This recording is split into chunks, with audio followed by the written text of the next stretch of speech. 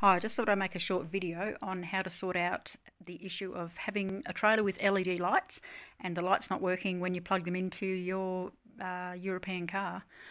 I had this problem with my Mercedes ML320 and my horse float the all the lights on the float worked perfectly when it was hooked up to every other vehicle except for my Merc. So did a bit of research and I realised that um, because LEDs draw such a small amount of power, the vehicle actually wasn't recognising that there was anything attached to it.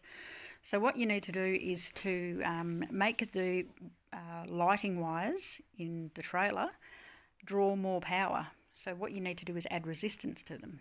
Now these are the resistors that you need. The bands on them are brown, red, brown, gold.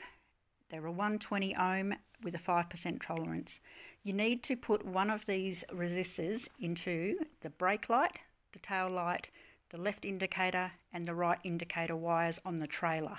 Not on your vehicle, on the trailer only.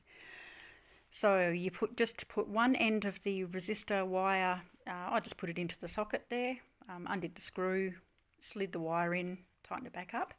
The other end of the resistor needs to go to earth. All four of them that I, as you could see, um, are wired into earth and soldered.